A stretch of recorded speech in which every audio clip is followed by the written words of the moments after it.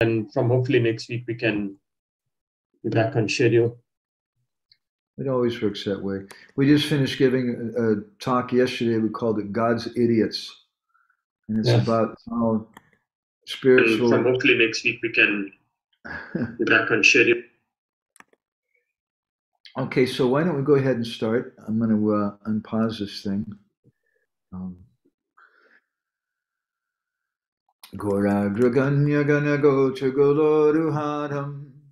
Goranga Guda Chama Gopyata Kolpa Briksham Gopala Gada Ratidam Yati Singha Gora Govinda Deshi Kavaram Satatam Namami Uttama Adama Kichuna Bachila Jachiya Dile Kakola Kahe Premananda Emona Goranga Hridoya Dariya Bola. Bhaja Goranga Kaha Goranga Laha Gorangira Namare Jai Jana Goranga Bhaje Se Hoyamara Prana Re. Hare Krishna Hare Krishna Krishna Krishna Hare Hare. Hare Rama Hare Rama Rama Rama Hare Hare. Yashaiva Padambuja Bhakti Labhya Prema Bhidana Parama Pumata Tasmai Jagan Mangala Mangalaya Chaitanya Chandraya Namo Namaste. Chaitanya Chandraya Namo Namaste. Chaitanya Chandraya Namo Namaste. Madgavyarapi Gopalan Sri Kuryat Kripaya Judi Tadaiva Sambhaya Pidva Rishi Yustat Priya Janaha Shri Krishna Krishna Chaitanya Sasanatana Rupaka Gopala Raghunatha Brajabala Bapahima Vanchakalpatarubhyascha Kripa Sindhubhya cha Patitanam Pavanebhyo Vishnavibhyo Namo Namaha. Jai Shri Krishna Chaitanya Prabhu Nityananda. Shri Advaita Gadadha Shivasadi Gaura Bhakta Vrinda. Hare Krishna Hare Krishna Krishna Krishna Hare Hare Hare Rama Hare Rama Rama Rama Hare Hare so I'm really, really grateful everybody taking part in this. It's just my my life and soul. I want to be able to share a little something with some small groups of devotees. We can go deep together. And I'm really sorry that, that um, we started this program and, and everybody had some hopes. I'm sure we're going to be there every week. But then because we've been traveling, it's been really hard. And uh, it's going to be harder coming up, and then maybe a little easier too. We're, we're going to uh, next Sunday. I'm giving a Sunday feast lecture here, so I don't know what's going to happen next Sunday. But then uh, a few days later, we go to Kazakhstan, and I think it's going to be hard doing anything from there. We'll see. And then we'll come back. We'll actually we'll go to to Czech, and it may be a little hard for that week too. I'm not sure. And then we'll uh, come back to, to Hungary. And it looks like we're still not sure. It depends on on the, Indian government, but we may uh, stay here in Hungary for the month of Kartik. So uh, I just want to look back a little bit. We're studying. We're on chapter five, which is a new chapter. If you have an old copy of Embankment of Separation, this is a new chapter now for this book. We titled it "The Ten Stages of Viraha." It's a very elevated subject matter. It's a really ecstatic subject matter. And this kind of topic, I just to I'd like to just speak about how we can approach it, because it's just so over the top. We could give some class about it. We could collect some verses from Ujjwal Nilamani and commentaries by Vishwanath and Jiva Goswami and things on it. And we could try to impress people in that way. I've seen some Vaishnavas do that. I had one friend who was a sannyasi. He uh, was giving classes like that, all like anything, and many people were appreciating it. But somehow they were all girls, young girls, and he didn't last very long as a sannyasi.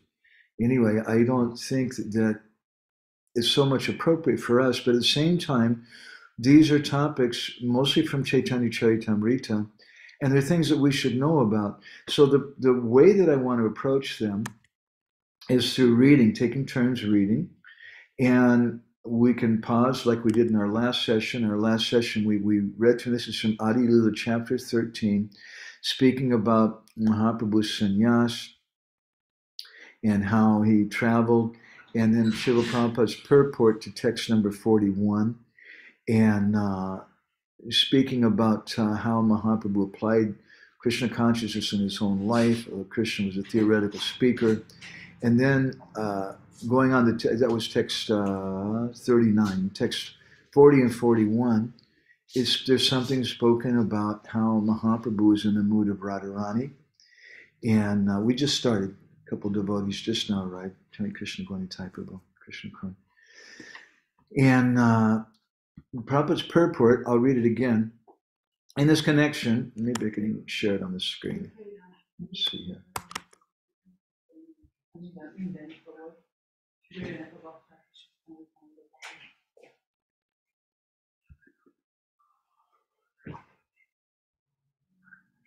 Um, in this connection, one should refer to Shrimati Radharani's soliloquy after meeting Uddhava in Vrindavan. Sri Chaitanya Mahaprabhu presented a similar picture of such ecstatic imaginary talking. Full of jealousy and madness, symptomizing neglect by Krishna, Srimati Radharani, criticizing a bumblebee, talked just like a mad woman. Sri Chaitanya Mahaprabhu, in the last days of his pastimes, exhibited all the symptoms of such ecstasy. In this connection, one should refer to the fourth chapter, the Adi Lila, verses 107 and 108. So, again, uh, it's so important to have a, a, clear conception of how we're approaching this and what is our sambandha with it. When we have some relationship with someone, uh, that relationship really begins, as we hear in the eighth chapter of the Madhya Lila of Chaitanya Charitamrita, in the um, Ramananda Samvad, it really begins when there's some mamata. And mamata means when someone has some set, uh, uh, conception or some feeling of, of possession. This person belongs to me. It's my sister, my brother, my friend, my wife, my husband, my lover, my, my children, my mother. It's my person. Hmm? fix this up. That's called mamata. And any kind of connection that we want to have that's going to be relevant for us, there has to be some mamata there. So the same thing is there for reading. We read something we feel I have a connection with because I, I, I, I'm in Hungary and we want to read about the saintly kings in Hungary. Some very interesting history in Hungary with the church and the kings here. And I maybe I do that because I feel some mamata because my wife is from Hungary and I'm giving classes in Hungary. I haven't been actually studying that, but just as a theoretical example. So, what is our mamata with this particular subject matter? This particular chapter, uh, Guru Maharaj speaks about 10 different symptoms of separation. And in our previous discussion, we spoke something about the different types of separation and how separation is the highest thing. Guru Maharaj is speaking that, and how we can understand that separation is even higher than union and the relationship between the two. How really one is not satisfying without the other. Both things have to be there. And uh, we heard some different things from Srila Prabhupada and, and, different literatures in that regard. We spoke about the meaning of Vipralamba, how Vipralamba means uh, Tatra Vipalambo Vipakarshena, Lamba Praptir Yesha Satata. Jiva Goswami says that Vipralamba means Lamba, attainment of a distance. So it means external separation, but internal union. And uh, today I'd like to start with this subsection called embodiment of separation. And uh, let me bring it up on the screen. And maybe I can make this a little bigger. That's good. Um, Bonnie Biharni, would you like to read since they bring it on the screen? Sure. Let's see, yes. But you should be able to get it now. Can you see now? Yes. So just from the beginning, embodiment of embodiment of separation. What is the real Svarup nature of Gauranga Mahaprabhu? He is always feeling pangs of separation from Krishna, always crying for Krishna. That is his mood. The deeper he feels separation, the more he experiences deep ecstasy. The more acute the feeling of separation, the more he re- relishes union in the heart. Externally, outside, he is crying and feeling separation. Krishna is not close by, he is away.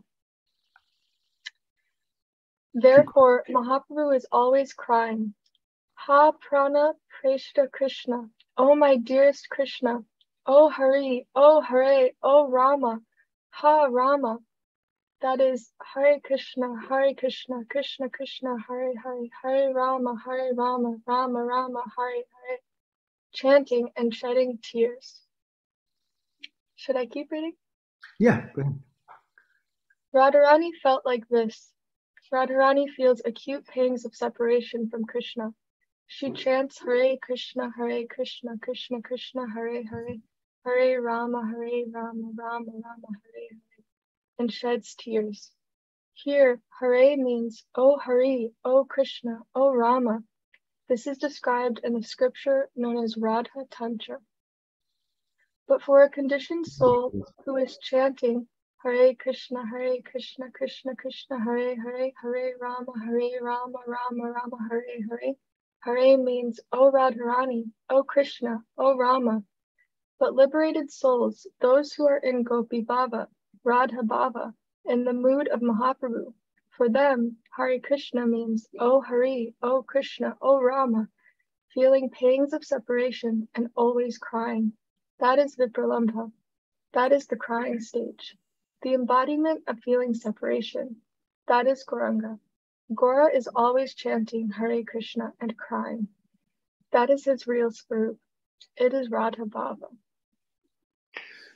So we should understand the Sarup of Sri Chaitanya Mahaprabhu, meaning that the inner mood of Sri Chaitanya Mahaprabhu. And Mahaprabhu is the embodiment of separation.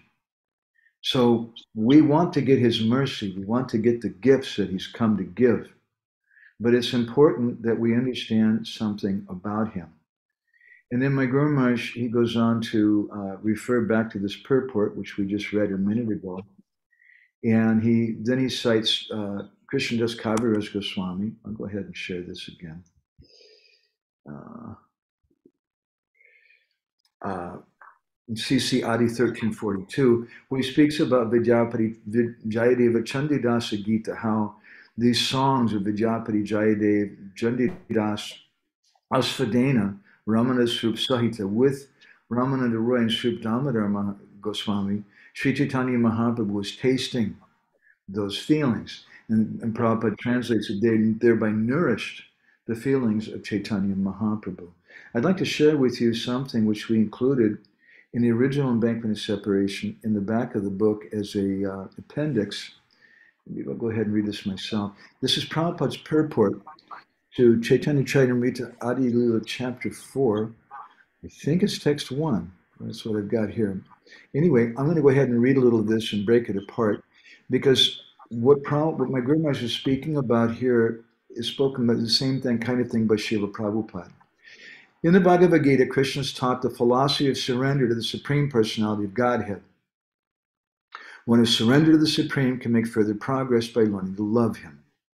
Therefore, the Krishna consciousness movement propagated by Lord Chaitanya is especially meant for those who are cognizant of the presence of the Supreme Godhead, the ultimate control of everything. His mission is to teach people how to dovetail themselves in the entanglements of transcendental loving service. He is Krishna, teaching his own service from the position of a devotee. This is such a very, very esoteric thing. Uh, it, therefore, we, we included this partly because our Maharaj speaks about how we shouldn't put a peacock feather on the head of the deity of Chaitanya Mahaprabhu. And it's difficult for some devotees to understand. And perhaps Srila Prabhupada was doing that because it's very hard to understand that God has come as a devotee. We can understand. It's difficult enough to understand that God's a little blue boy with girlfriends and cows. That's very difficult to get your head around. But when you hear that he held up Govardhan Hill, that he killed a great witch when he was a tiny baby, that he did so many amazing things, then you get some faith. But when you hear about someone who was 500 years ago and he's a devotee, and not everybody, some people accept him as God, but not everybody. Some people in India today, some writers and things and, and scholars of Gaudiya Vaishnavism, they consider Sri Chaitanya Mahaprabhu to be a great devotee, a great saint, a social reformer. So it's not so easy to understand that person as Bhagavan. And to help us understand that, my Guru Maharaj has given this book, Embankment of Separation. So as Prabhupada says here, he is Krishna teaching his own service from the position of a devotee. Wow. it's a really packed full of sense. He's Krishna teaching his own service from the position of a devotee. Krishna's coming to teach us how to do service but is doing it from the position of a devotee. He's in the mood of Radharani. The Lord's acceptance of the role of a devotee in the eternal form of Lord Sri Chaitanya Mahaprabhu is another of the Lord's wonderful features. And Prabhupada, every little word Prabhupada's saying is packed with deep meaning. He, he mentions here it's the eternal form of Sri Chaitanya Mahaprabhu. Don't have any doubts that maybe this is just a one one off kind of thing that that uh, Chaitanya Mahaprabhu has come like this. It's an eternal form, and it's one of the Lord's wonderful features. A conditioned soul cannot reach the absolute personality of Godhead by his imperfect endeavor, and therefore it is wonderful that Lord Sri Krishna, in the form of Lord Gauranga, has made it easy for everyone to approach him. And the part of the, the purport that I, I was most concerned with Srup Damodar Goswami has described Lord Chaitanya as Krishna himself with the attitude of Radharani, or a combination of Radha and Krishna. Now, just to look back, I, I mentioned this a number of times. It's probably not very relevant for you guys in South Africa or Michigan, but you might sometime meet some Vaishnavas, because there's a lot of different Vaishnavas in the world moving around today, who are outside of ISKCON, and maybe they're in the Advaita Paribar, in the Advaita Paribar, they, they, they, they don't appreciate our line so much, Srila Bhaktisiddhanta's line. And one of the complaints they make is they say that you feel that Radha and Krishna have become one as Gauranga Mahaprabhu, but they stress the difference. There's oneness, but there's difference. So Srila Prabhupada, I, I think, uh, reconciles this very nicely in this beautiful sentence.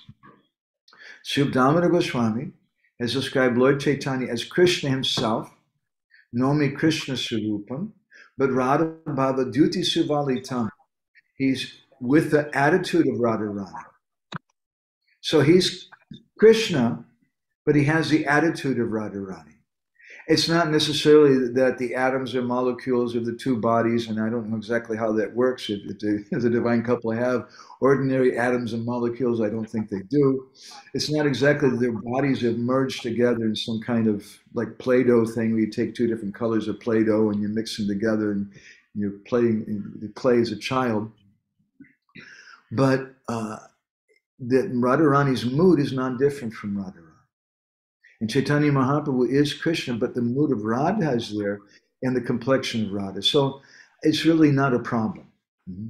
In this beautiful sentence, Srila Prabhupada reconciles that, that point.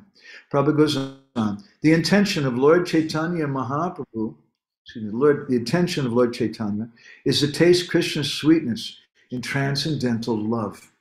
He does not care to think of himself as Krishna because he wants the position of Radharani. we should remember this. Hmm?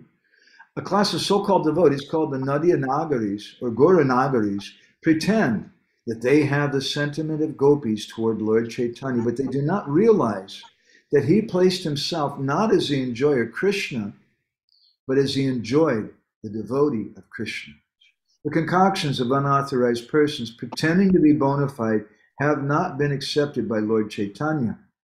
Presentations such as those of the Gauranagaris are only disturbances to the sincere execution of the mission of Lord Chaitanya. Lord Chaitanya is undoubtedly Krishna himself, and he's always none different from Srimati Radharani. But the emotion, technically called Vipralamba Bhav, which the Lord adopted for confidential reasons, should not be disturbed in the name of service. Hare Krishna to see. My Maharaj cites this statement in, in uh, Embankment of Separation. He says that, take a mat, make you more comfortable sitting in that. He says that the emotion uh, known as Vipralambha uh, which the Lord adopted, should not be disturbed in the name of service. A mundaner should not unnecessarily intrude into affairs of transcendence and thereby displease the Lord. One must always be on guard, Prabhupada says, against this sort of devotional anomaly. A devotee is not meant to create disturbances to Krishna. So this is a very deep point. I, I, I, was thinking about this recently, actually to tell you something a little bit kind of social and political, because we're all interested in social and political things, isn't it? if I just talk to you about the 10th canto of the Bhagavatam, you may fall asleep. But if I tell you there's something really social and political, it's oh, everybody, everybody wakes up. Huh? So tomorrow, I'm having a, a chat with some devotee who uh, wants to speak to me on behalf of the deity worship ministry in ISKCON about the peacock feather on the head of the deity of Mahaprabhu. And I've really been thinking about this subject uh, I've spoke about this before with this group. I'm not going to necessarily go over all the same things we spoke before, but I'd like to speak something about it in a social way. Now, I my Maharaj previously requested me to write something about this topic, and, and he liked it. In fact, he liked it so much that he submitted to the GBC in his name as a as a proposal that we not put a peacock feather on the deity of Chaitanya Mahaprabhu. Um, so that's a little close to my heart. It's my Guru Maharaj, she wanted me to say something about and but I found over the years it's a little difficult because Srila Prabhupada personally told Jananivas to put a peacock feather. And it's hard for me because Jananivas Prabhu is a very worshipable, wonderful devotee. Prabhupada told, and I've had discussions with him about this, Prabhupada told Malati to put a peacock feather on the deed of Mahaprabhu. So when I have this discussion tomorrow, what I what I decided that I want to try to tell speak with the devotee about is that this is a historical fact, and uh, Prabhupada said that. And if somebody like one of my the followers of my Guru Maharaj tries to minimize that or negate that, it's not going to work. Devotees won't be happy. But at the same time, in our society, if devotees try to claim that we should, everybody must put a peacock feather on the deity of Chaitanya Mahaprabhu, that's also going to be problematic. Here in Hungary, they don't do it. But Shil Shivananda he, he said this is not proper Siddhanta. And moreover, in the Gaudiya Mat, and this is not uh, some, this is not a controversy which belongs to me. I don't have it tattooed on my chest. And when I was born, it wasn't that there was a voice from the sky that said, I want you to go and discuss it and, and resolve this problem in ISKCON. It, it doesn't belong to me. If I die right after this class, the issue is still going to be there. And no matter what happens with this issue, I'll still be part of Prabhupada's movement. I'll still be part of ISKCON. But I'm not going to change my, my understanding of it, even if someone orders me. And as many other devotees who have the same understanding. So the real issue to me is how can we as a community, how can we reconcile these differences? And a nice example, I think, is given in another controversial subject. Oh gosh, I hope I don't get in trouble. and that's about the source of the jiva. And my Guru Maharaj in general, I think somebody here is not muted I don't know who it is, but please, That was everybody. me, can- sorry. Okay, thank you. Uh, he, he spoke the same thing which Prabhupada says in his books, and the same thing which Bhaktivinoda speaks in a number of different acharyas, that the jiva doesn't fall from the spiritual world. And that was controversial in, this, in, in our movement because some devotees, they say, they, they cite other letters where Prabhupada was very clear. In some letters and some conversations, Prabhupada was very clear. He said, we fell from the spiritual world, and even if you go back, you can fall again. He said in one letter. But in his books, in the third canto of the Bhagavatam, one in the seventh canto of the Bhagavatam, he uses the word the conclusion. In the third canto, he says the conclusion is that no one falls from the spiritual world. So there's some controversy about this. I'm not trying to champion either side. I'm not even trying to champion the peacock feather thing right now. But I'm more interested in sharing with all of you a conception of how we can live together as a community with these differences. And I'm using this example of the uh, fall of the jiva, or no fall. And my Guru Maharaj, uh, they had some discussions with GBC Body about it. And he came back from Mayapur that year and he gave a talk. And he said something which I, I really take to heart personally. He said that why can't we say either way? Why do we have to insist that one way is true and the other way is not true? Since Srila Prabhupada said both things, why can't we accommodate both sides? Now, in the case of the peacock feather, I'm not aware. Uh, well, Prabhupada did mention uh, to uh, hmm, the hippie poet Allen Ginsberg that Chaitanya Mahaprabhu doesn't have a peacock feather. And Prabhupada, when he had the devotees make the paintings of Chaitanya Mahaprabhu and Chaitanya Charitamrita, even the, the formal painting of the Panchatattva, which the devotees worship as a deity, Prabhupada didn't have them put a peacock feather.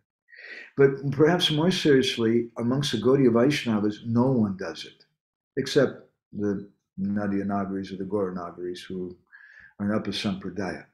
But Srila Prabhupada instructed a few devotees. Now, I, have been researching this thing for over two decades, actually over three decades, I think. And uh, I've never found anywhere where there's even a recording of Srila Prabhupada saying to do this, to put a peacock feather. There's no letter from Srila Prabhupada that I've ever found. It's not in the folio anyway.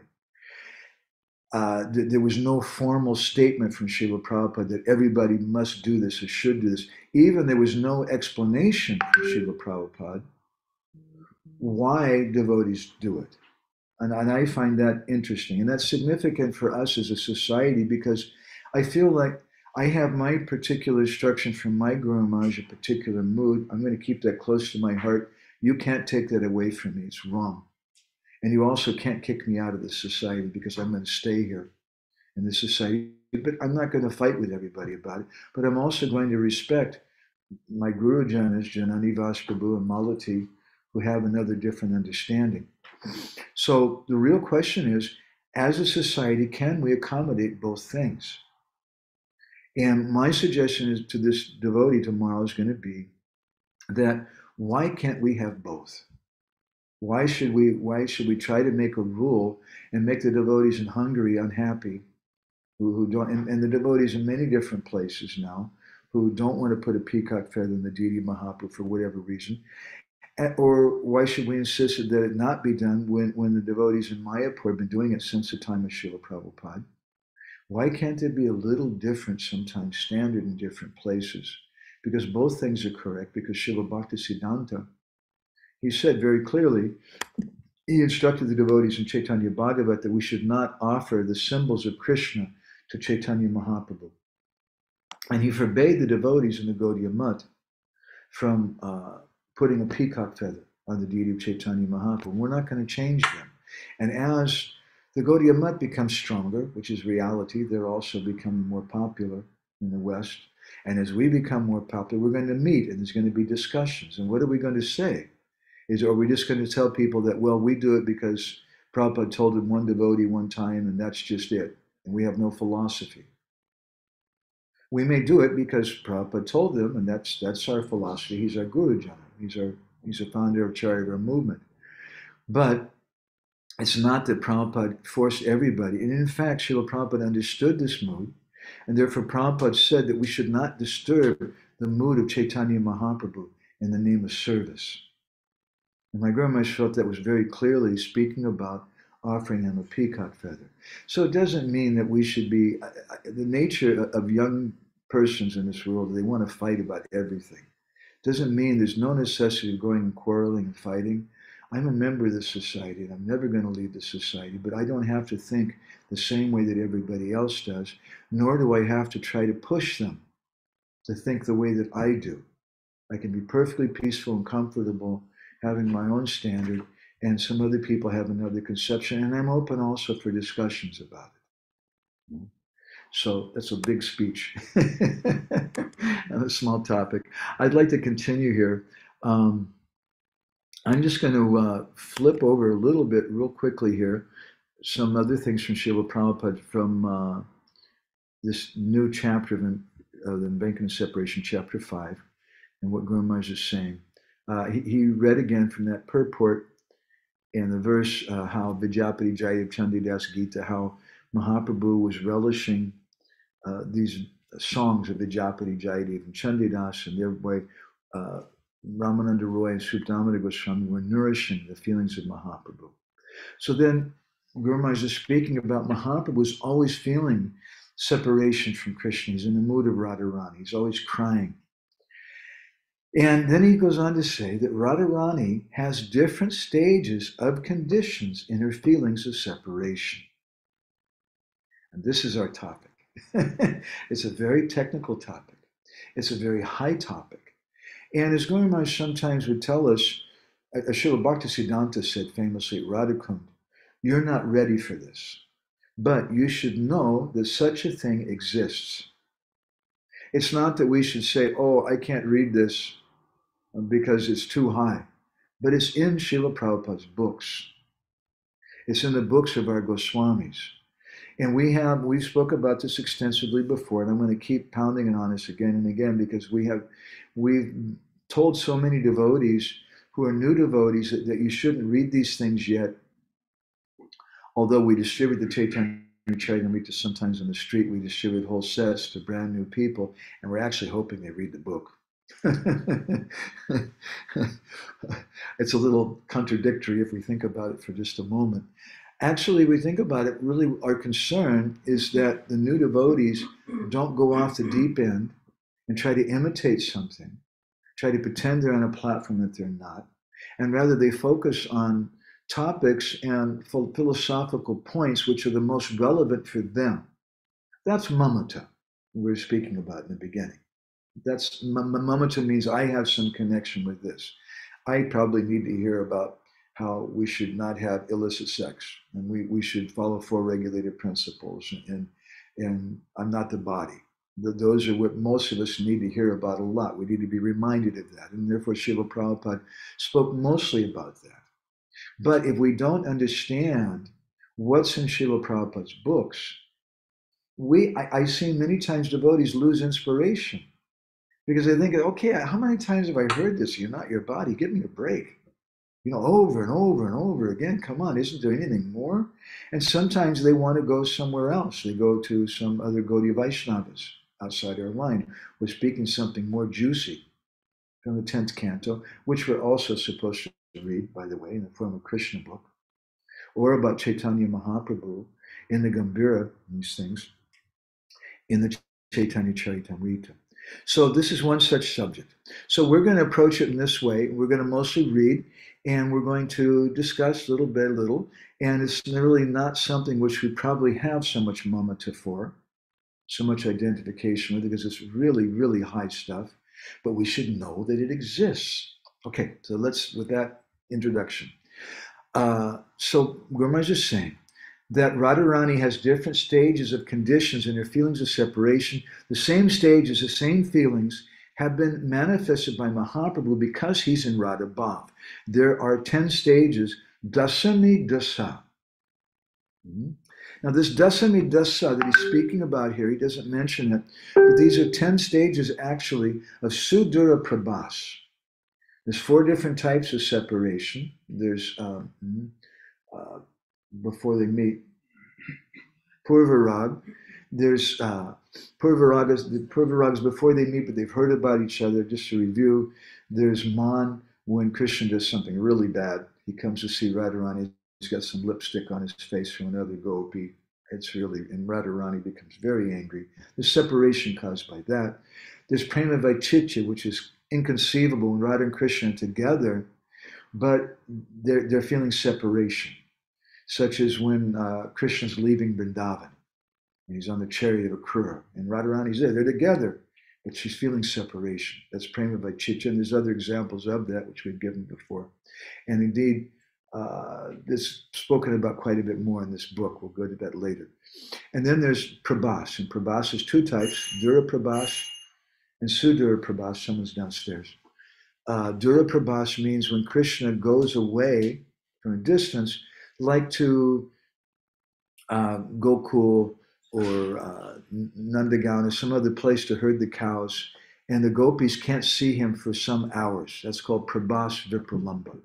Sudura Prabhas is when Krishna goes to Mathura Dwarka and the gopis don't know, hey Krishna, you see Prabhu. No? The gopis don't know if they'll ever see him again. So uh, we just had another guest just came in. Nice to see you, Prabhuji. He's my good friend. We have a similar background.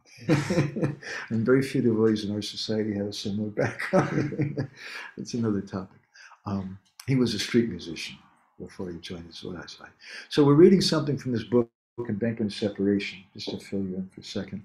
And it's kind of a real high subject that we're reading about right now, about 10 stages of feelings of separation that Radharani has. And we were just speaking about how do we approach this? What do we do with it? It's just so inconceivably high. And my suggestion was that we, we deal with it because this is something we're supposed to hear about. It's in Prabhupada's books but let's just do it at, at a bite at a time and try to digest it and just read through it and not try to own it because it doesn't really belong to me, but still it has some relevance for me. There's some mamata. Mamata means I have some sense of possession. There's some mamata for me because it's coming from my Param Gurudev, Srila Prabhupada. Because it's coming from Rupa Goswami. They meant it for me. So I have some right to read it. So there's 10 stages. Chinta, anxiety. Jagara, wakefulness. Udvega, mental agitation. Tanava, wasting away of the body. Malin, malinangata, uncleanliness. Pralap, talking like a madman. Vyadi, disease like. Unmada, madness. Moha, fainting. And the tenth and last, mityu, or death. And then he says, I'll explain these stages one after another. So we'd like to ask Chaitanya Prabhu, would you like to read a little bit from this, which says unlimited ocean?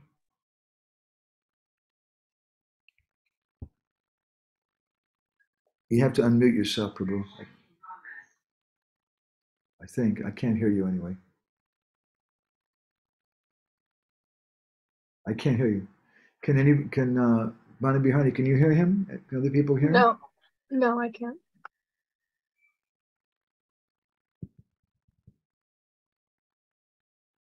Okay, let, us just jump a little bit and we'll come back to Chaitanya Prabhu. Nandarani, you want to read a little bit for us, please?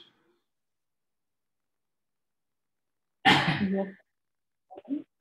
We'll come back to Chaitanya Prabhu. Um, unlimited ocean.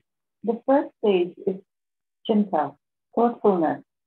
An example is given in Hamsadutta, text 2, and elaborated by Bhaktisiddhanta in his Bengali commentary to Sri Chaitanya Charitamrita, Antya 1453. Okay, it's all right, Nandarani. I know you're nervous. a lot of devotees get nervous when there's a lot of Bengali or Sanskrit. Like, oh God, I got to read this. I'm going to look really foolish. It's okay.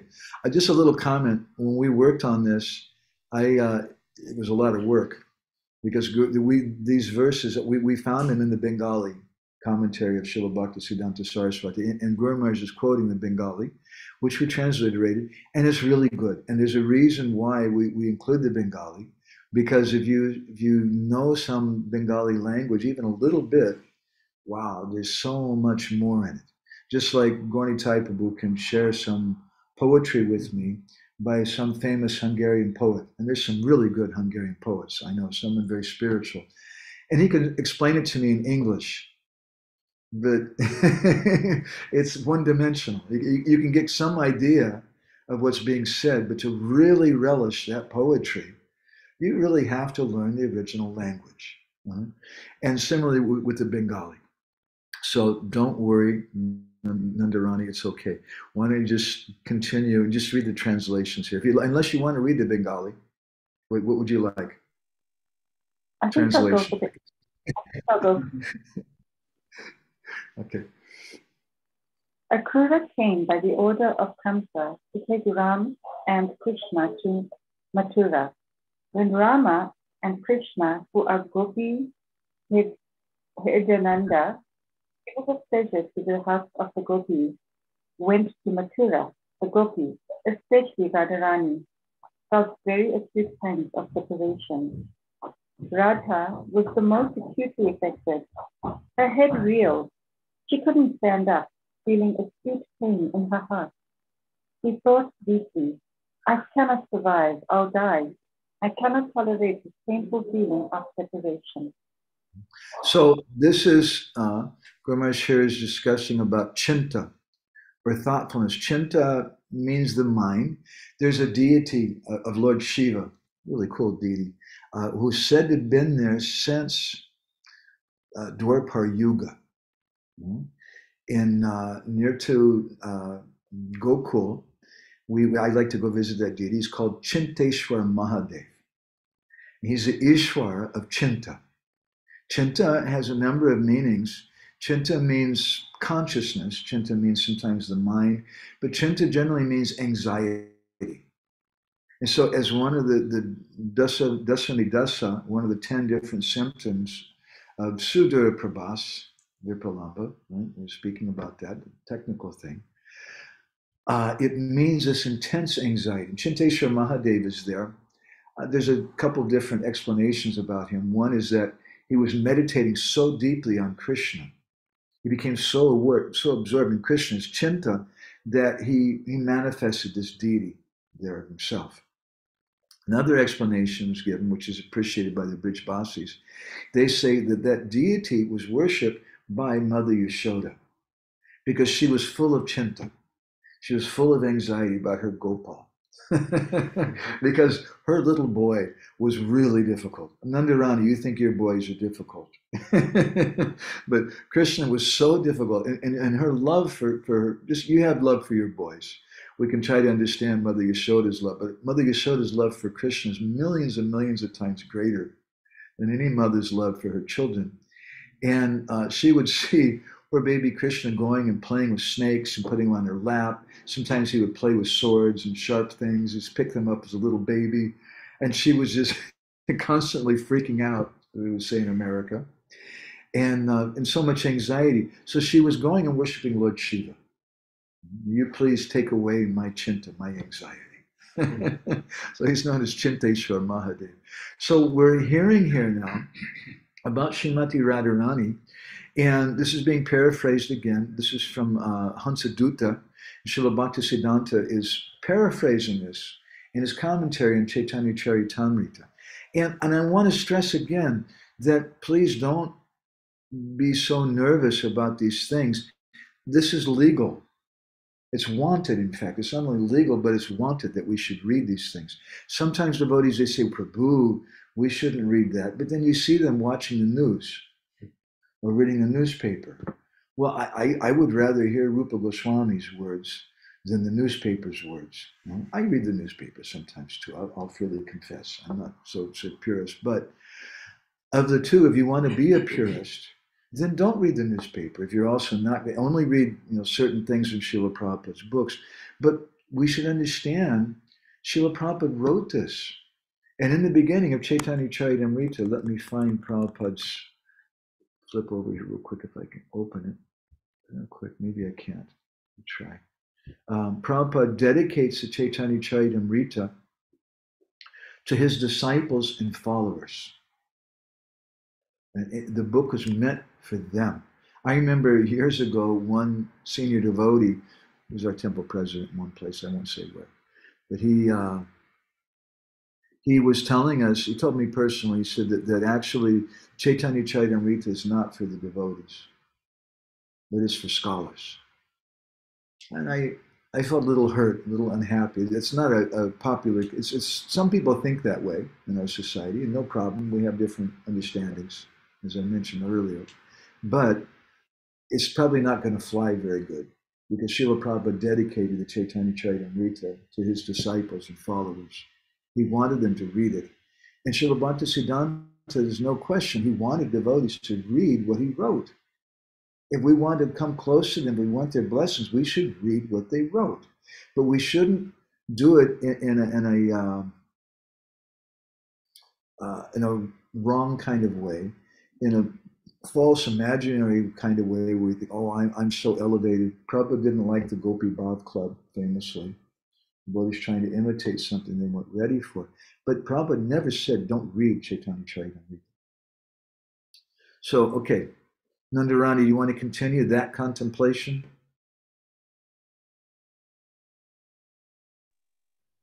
That contemplation is like an unlimited ocean in which Radharani is drowned in the deepest region. Then she considered, My dearest Krishna, Lord of my heart, must come must come to Rajabhumi to inquire about me, and if he hears that I am dead, it will be very intolerable. He'll get too much distress. His heart will be very pained. He will never get happiness. Deliberating like this, she thought, No, I won't die. Although it is so painful that I cannot tolerate, still, I cannot die. She decided not to die because it won't please Krishna. This is thoughtfulness, Chinta. So, what a beautiful description. What an amazing, I mean, people like art. The culmination of art is to try to understand love of God and to come closer to the Lord. I'm going to drop in, in our Sangha here uh, in a WhatsApp uh, this particular chapter so I can put it on my phone and so that some of the devotees here in the room can also maybe read something. Let's see if that works. Yeah, it's working. Um, so here, Rupa Goswami in Hansadutta and Srila Bhakti is giving some, they call this Bengali Paya. Paya means this particular uh, Bhagavata Pada Vaishnavera Stane Ekanta Ashraya Chaitanya Charane. That number of syllables, which is the same number of syllables as these verses here, that's technically called Bengali Paya in, in poetry. And uh, Srila Bhaktisiddhanta is giving us this and giving us a window to understand the mind and emotions of Shrimati Radharani. Wow. what an astonishing thing. What an astonishing thing. So, okay, maybe it's so high for us and whatever, and maybe sometimes we feel uncomfortable. Why do we feel uncomfortable? I don't like it. Why should we feel uncomfortable? This is Prabhupada's books. Why should we feel uncomfortable with, our, our grandfather's books? It's so important. We should hear these books. I think maybe we feel uncomfortable because we're attached to our body, we're attached to our certain situation, and this other thing makes us feel uncomfortable. Hmm? So Shrimati Radharani in her ecstasy, she's contemplating this is what's going on in her mind. I, I can't live without Krishna. I should just die. But no, that won't work either. If I die, then, then Krishna's going to be unhappy. That won't work. No. Chaitanya Prabhu, are, are, you there? Can, can we, uh, can you read something? Let's try. Can you hear me now, Prabhu? Yeah, I sure can. That's great. So going to sleep. And then I'm going to try to read something with the devotees here in the room. I'm not sure if my mic here is working or not. So I don't know if that'll work or not. But but uh, you go ahead. From Sleepless. Okay, Sleepless. Then comes Jagara, wakefulness. The second dasa, condition, is described in Rupa Goswami's Padyavali and elaborated on by Srila Bhaktisiddhanta. I'm also going to skip the Bengali if it's okay. All right. Radharani says, Oh, my dear girlfriend Vishaka, I'm very, very ill fated, uh, Bhagyahina. That woman is glorious who, although separated from her dearmost love, sees him in a dream. But when Krishna left Rajapur and went to Mathura, sleep developed enmity towards me. If there is sleep, there are dreams, but sleep has stopped coming to me, so I cannot dream. I'm such an ill fated woman. This is the second stage, Jagara, wakefulness. So, this is so beautiful, so important for us to understand this. And just as a footnote, also, we, we were giving a talk yesterday about God's fools, or the idiots of God. And there's a wonderful book. Well, I know how wonderful it is, but it's a nice book, I think, called um, Madness of the Saints, written by one secular scholar who studied religion, and she's written a whole book, and she includes Gorkishore Das Babaji, and there's some different Islamic saints and different persons. And her point is that there's madness sometimes amongst the saints, and it's a fascinating thing to study that madness. What to speak of studying the madness of Shrimati Radharani. And if we don't understand something about the madness of Radharani, how can we understand Chaitanya Mahaprabhu? it becomes really strange. This guy rubbing his face against the wall and blood coming out, and his arms and legs stretching out, and, and the bones breaking or something, and, and, coming back in his body, and, and it, it, just becomes too weird. But if we can understand something about the, the mentality, and by understanding Mahaprabhu, we can understand Radharani, and vice versa. If we want to understand Mahaprabhu, we have to understand Radharani. So this Jagara this is the second dasa, the second condition of these 10 different stages. And this refers to someone, jagara, someone who jagara means to get up. They, they, they can't sleep. And we see that that's conditioned in mad persons. We see that in Srila Prabhupada. He would only sleep for a few hours. I, I saw that in my Guru I traveled with him as a servant for about, I don't know, four, six weeks, maybe four weeks, six weeks. And during that time, he would average sleep maybe three or four hours a night. I know because that's all I slept with him. And there were at least two nights he didn't sleep at all. He was traveling. And uh, it's, it's, quite an intense thing. Srila Prabhupada wasn't fond of sleeping, and it's not just some mental calculation. I've seen devotees, sometimes they try to limit their sleep. I'm going to become more advanced, Prabhu.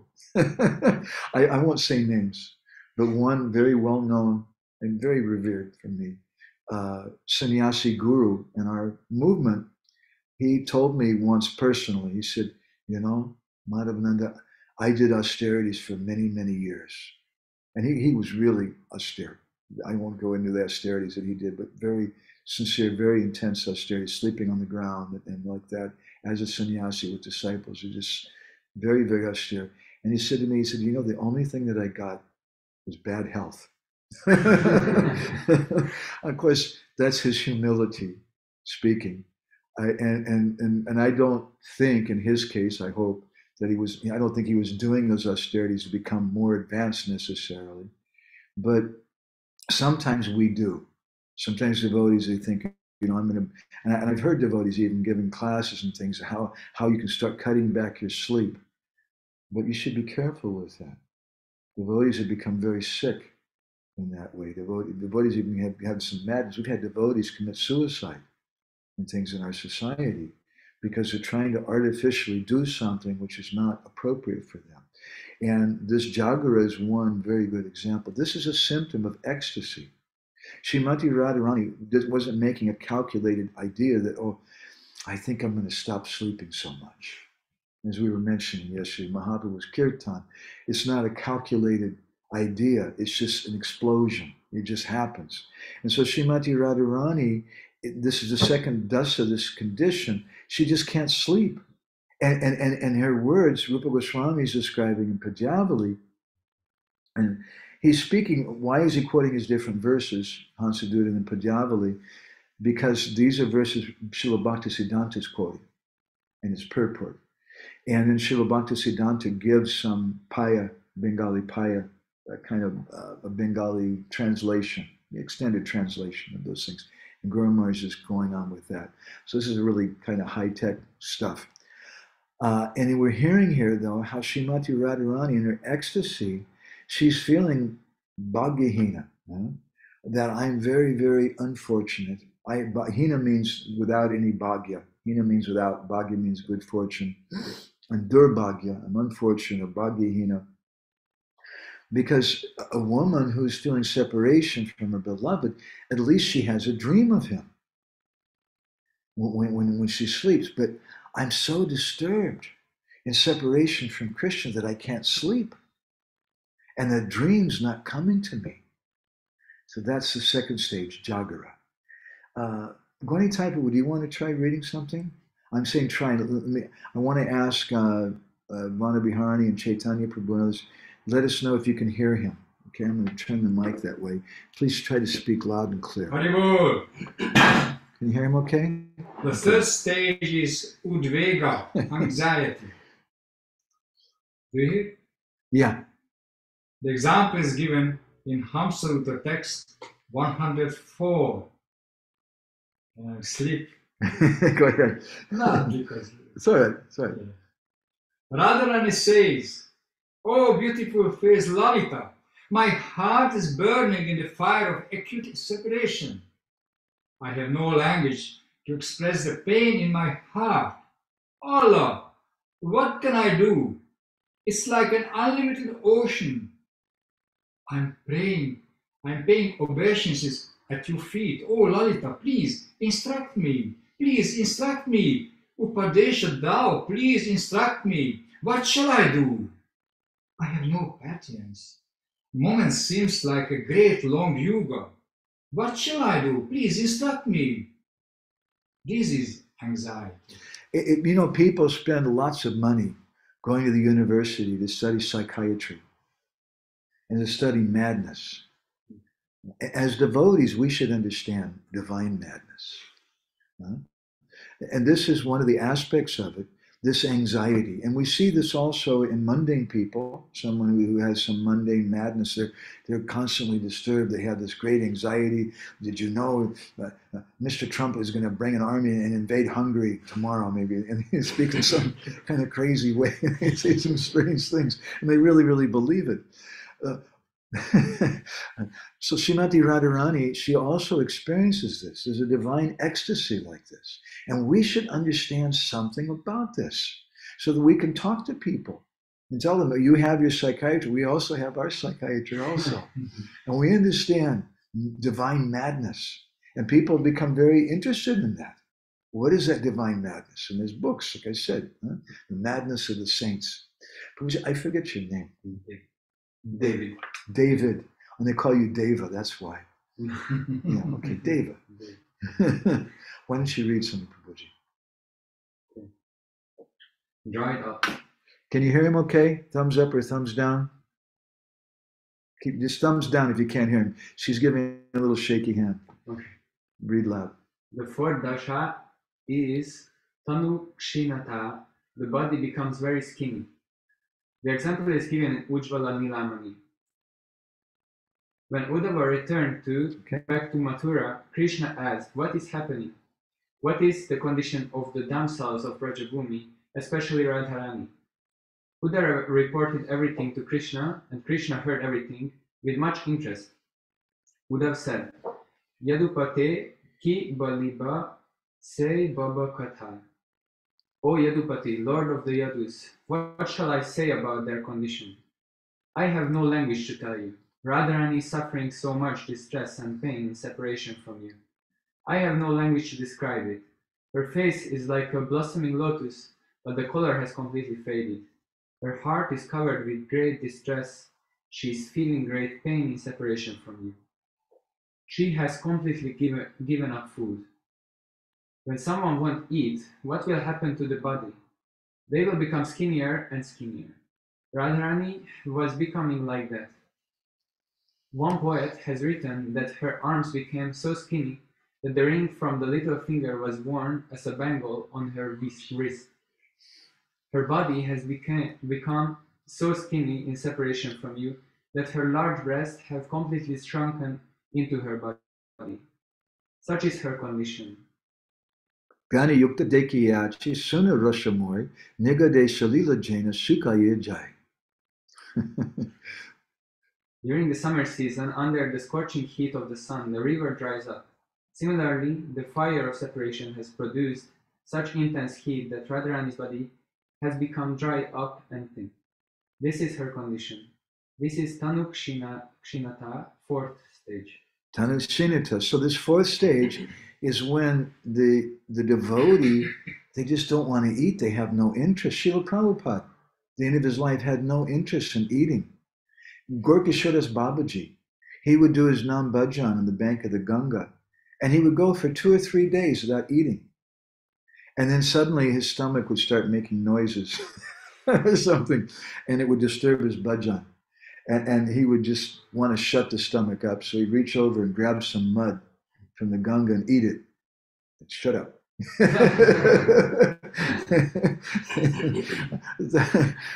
That's Tanuk Huh? That's a kind of, of, of ecstasy and separation. Uh, and also, I, I think it's interesting here too. Uh, Srila, uh, what is it? Quoting from here. Let's go back. Uh, Nilamani. So Rupa Goswami, Ujjwal Nilamani, and Srila Bhakti Siddhanta is uh, expanding on it, discusses this thing how Radharani has become so skinny in separation uh, that her large breasts, I'm sorry we're talking about Radharani's breasts, but it happens, that her large breasts have completely shrunken into her body. Well, that's really shocking, isn't it? You, can you imagine the, state of something? It's like a horror movie or something. And what does it remind you of? It reminds me of Sri Chaitanya Mahaprabhu in Jagannath Puri when he manifested that form known as Kurma Roop, his arms and legs shrunk inside of his body, and it reminds us of the form of Lord Jagannath, who's Mahabhav Prakash, whose arms in, in ecstasy and separation from Radha, his arms and legs have shrunken inside of his body. Can you guys hear me okay? Yeah? Okay, I'm sorry. Now is it better? Yeah, I just turned the mic back around and forgot. Okay, I think this mic is working. I don't even know. Okay, um, anyway, it reminded me of that. Prabhuji, I never got your name. I'm sorry. Batu. Batu. Batu, that's. That's your initial name? Yes. It's a really cool name, Batu. Maru Mango. Yes. Yeah. Can you read something, Prabhuji? Sure. Mm-hmm. Blackish limbs.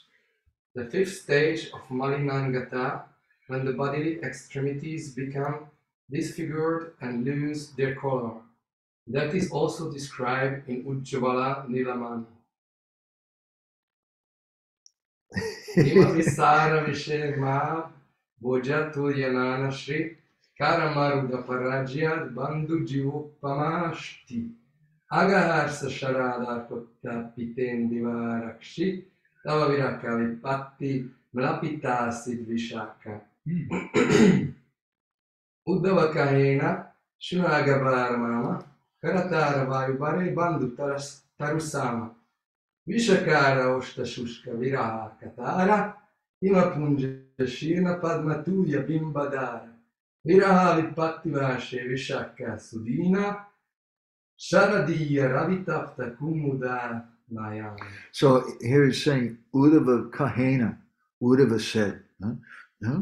Suno, hmm? Agasura Mama. You're the enemy of Agasura. He's saying, Hey Krishna, you're, you're my mama, my enemy of Agasura. Karata Vayubhari Bandhu Tare Sam. Huh? That you should understand this thing. That Vishaka Oshta Shushka, Shushka means dry. Viraha Katara. And the Viraha Katara, or the stages, Katara means like the stages, and the stages of Viraha is burning like fire. She has this Oshta Shushka. There's some hot wind. It's made everything very dry. In a similar way, Vishaka, now she's become very, very dry and she's feeling these pangs of separation. Oops. Thank you, Guru Type. Okay, go ahead. Um, go ahead, Bhatti Prabhu. Malina Angata means there is no freshness in the body. Uddhava reported, O enemy of Agasura, Krishna, listen to me. When a hot wind blows, the leaves of the trees become dry. Similarly, Vishaka is always breathing heavily, feeling the pangs of separation. Her reddish lips are now all dried up and blackish. When there is snowfall, what happens to the lotus? The lotus becomes faded and black. Such is the condition of Vishaka reddish lips. Vishaka, who looks as beautiful as a fresh lily, is now feeling acute pangs of separation from you. The lily is fresh in the nighttime, but in the day, due to the scorching heat of the sun, what happens to the lily? It withers. Such is the condition of Vishaka. This is Malina Angata. No, no freshness of the bodily color, it is all dried up. Sure. So we, we see this in things. We see this in a mundane way in the material world. Sometimes, uh, if a criminal he, he he's stolen something from somebody, and he's uh, in the shop, and all of a sudden the person that, that, that he stole something from walks into the shop with the policeman and all the blood drains from their face. and they're, they're feeling so much anxiety. So, in a similar way, uh, there's a transcendental symptom of ecstasy called malinangata when the body becomes disfigured and the color is lost. It, it affects the body. And uh, Rupa Goswami explains in um, Bhakti Rasamrita Sindhu that this Astasatvikara Bhav, that they reside, these different eight symptoms of ecstasy, reside in the body.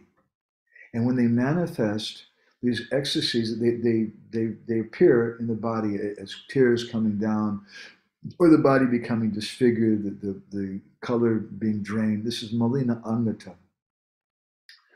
So this is one of the symptoms. So I'm going to stop there. It's a little late, and also for us here in, in Hungary, always want to take rest. Know I'd like to, but I would like to. Uh, two things I want to do. Number one, if uh, anybody else who's online here would like to read something, someone like Krishna Balaram Prabhu who just joined with us. Krishna Balaram Prabhu, would you like to read something? To get your association and hear your, your your voice will, will extend our program a little bit. you can read Prabhu Hari Krishna Prabhu and Hari Krishna everybody. Thank you. Nice to hear your voice, Prabhuji. You want to read nice. about delirium? Yeah, I could do this. So delirium. the sixth stage is pralapa, speaking inconsistently. Prabhupada said talking inconsistently. Pralapa is described in Lalita Madhava. Um, and you don't have to read the Bengali or Sanskrit if you don't want. It's up to you. But it's a really I'm nice. Fine. My Guru used to quote this verse quite often. Go ahead. Shilupa Goswami has written this. Srila Rupa Goswami has written this, uh, Kwa Nanda Kula Chandrama verse, and Mahaprabhu has quoted it. These are Radharani's words. Feeling acute pangs of separation from Krishna, Radha, Krishna, Radha is crying. Seeing a dear friend like Lalita and Vishaka, Radharani says, Oh, my dear girl, uh, oh, my dear girl companion, Saki, where is that moon of, of the Nanda dynasty, Krishna? Where is that Krishna who has a peacock feather in his head? No one else wears a peacock feather, only Krishna. Where is that Krishna who plays so sweetly with his flute? Where is he? Where is he whose bodily hue is blue like an Indra, Indra Nilamani, a bright sapphire? Where is he? Where is that Krishna who dances in the Rasa Leela? Where is he? Oh, Saki, he's like a soothing balm to my heart, which is burning with the blazing fire of separation. That is the medicine. Where is he? Where is that medicine? I am so ill-fated. Amma has written this. Uh, Amma has written this thing on my forehead.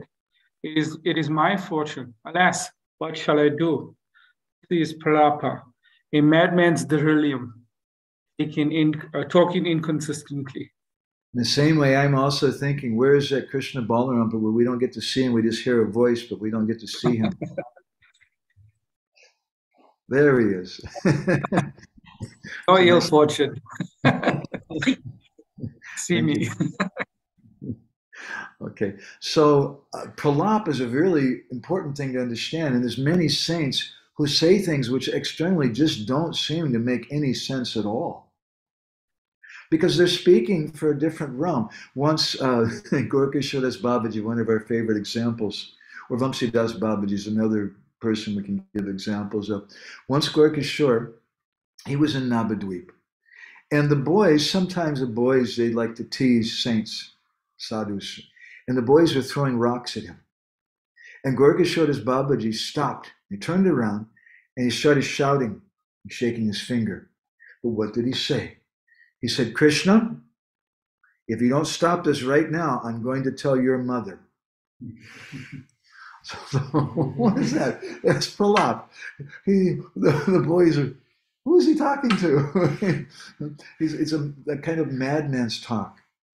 And this is what, what uh, people generally think when they see the devotees. What are they chanting? What are they, they doing? What is this japa thing that they're chanting? What, what is this?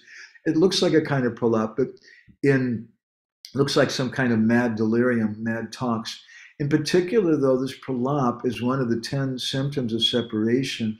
It refers to this kind of madness when Radharani and the gopis, they're feeling so much separation from Krishna, they begin to speak in so many different crazy ways. And there's different types of pralap. And Srila uh, Vishwanath Chakravarti Thakur has enumerated those especially in the 47th chapter, the 10th canto, of the Bhramara Gita. And we gave some classes about that previously when we were speaking about that Bhramara Gita. I'm not going to go in that direction right now, but the, there's there's different types of those, those mad talks. Um, Anir, would you like to read something? Sure. Okay. Um, I'm not going to read the Sanskrit, so I'm just going to continue. Dreadful poison. Fine. You make everybody feel more comfortable, probably. But if we could see you, then we'll be more happy. Yeah, I, I'm, I'm a bit concerned. I have a weak internet connection. It might just drop. Okay, okay, that's fine. Yeah, so dreadful poison. The seventh dasa is Vyadi. Vyadi means a very high fever. It is mentioned in the Lalita Madhava. Okay, so I'm going to leave that out. So Radharani says, Oh, my dear girl, companion of Lalita, please listen to me. I have a very high fever, 109, 110 degree fever produced out of acute pangs of separation from Krishna. What is the example of such a temperature? Well, the goldsmith melts a piece of gold. He puts it in a small earthen pot, covers it, and then puts another earthen pot on top. Then he places it into a blazing fire. He then takes the bellows and blows until the fire becomes more and more blazing. Such a high degree of heat is produced that the little piece of gold inside melts. So such a fever is there in the body, such a high degree of fever. Such heat is unbearable, intolerable. It is like very, very dreadful poison. It is more intolerable than a thunderbolt. It is like the piercing of a pointed spear in the heart. Such pain I am getting, such high fever, like very dreadful cholera. A cholera patient gets such pain. I am getting such pain.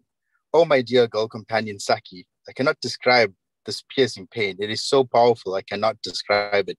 I'm feeling such a high degree of fever. This is Vyadi, and this is the seventh dasa. so, well, I, it, it's interesting in Lalita Madhav here, Rupa Goswami is describing, um, to give an example of Vyadi, he's speaking about uh, how the goldsmith melts gold. And the same example is used by Srila Vishwanath Chakravarti Thakur in the 47th chapter of the 10th canto in, his uh, Sarartha commentary. And he says there that what was the reason why Krishna left the gopis in Vrindavan? He raises a question. If you say that Krishna loves the Braj Gopikas more than anyone else, then we may reply, it's a lie. It's not true. He left them.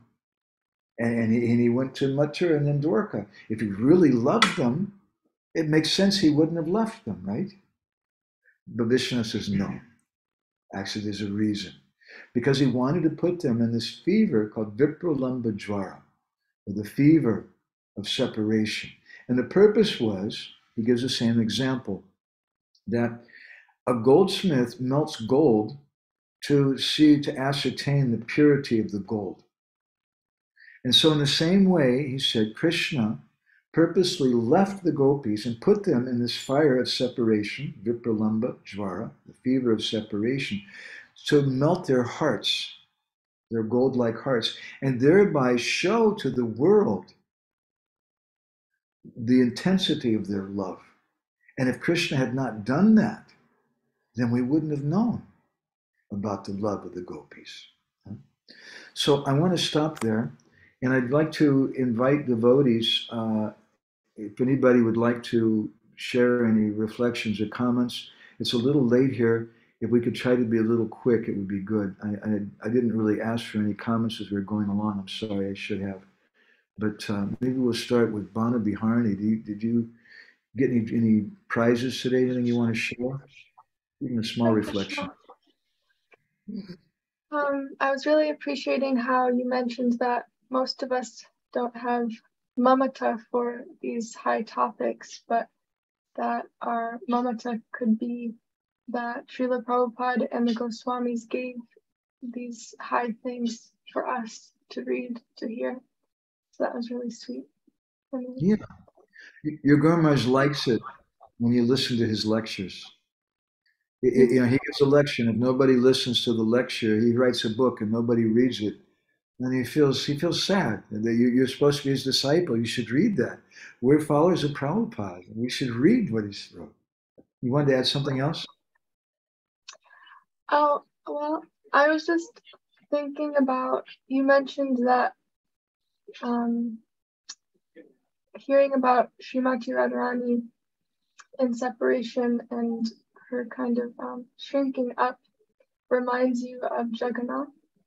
And so I was just wondering, um, I was thinking about how this pastime you often tell, um, how when Krishna comes and sees Srimati Radharani in separation, then he takes on that form of Jagannath. And I was just thinking, I was wondering if you could say something about why is it that it's just when it's when he sees her, like he sees her in that separation, that he's affected in that way, and what kind of separation is that? I don't know if that's clear. yeah, sure. First of all, that that story we're going to be coming across that pretty soon. It, it comes later on in this this book, The Embankment of Separation. And for, I think maybe everybody here knows, you may not know, it's a story about Krishna's return to Vrindavan after uh, he'd left and finding Radharani lying in, in uh, Nidhivan on the lap of Lalita with this fever of separation. There's these 10 different symptoms, and she'd come to the point of mrityu, or the 10th symptom, which is death. And she almost ready to die. And when Krishna saw her, he jumped off the chariot and he ran to Radharani, but suddenly seeing her became stunned in ecstasy. And that's known as Mahabhav Prakash. And his arms and legs shrunk inside of his body. His eyes became very big. And he manifested the form that we think of as Jagannath. So your question is that, why did it manifest in, in, in response to Radharani? So it, did that the, this symptom of ecstasy was the udipana, or the, the thing which lit it off, which, which set off the, that ecstasy, was Radharani's condition. Just like, just like today, we, we were in leaving Eger, and the kind devotee who uh, was letting us stay in his guest house with no charge, uh, he, he, was his wife and he was speaking to Krishna Kun. They were speaking in Hungarian. I'm just an uneducated person. I can't understand what was being said. Very unfortunate. But at one point, the lady started crying very emotionally. And I, I became concerned and, and I, I, I asked, after they left, I asked Krishna Kun, what was, what was it happen? Why did she cry?